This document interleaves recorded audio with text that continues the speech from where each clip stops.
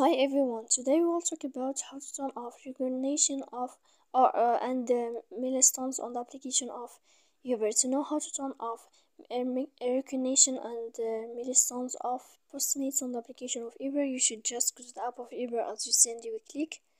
After that, in this page, you go down to find this account.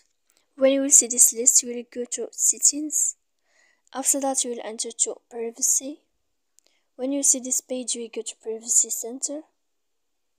Then in this list, you will enter to Communications.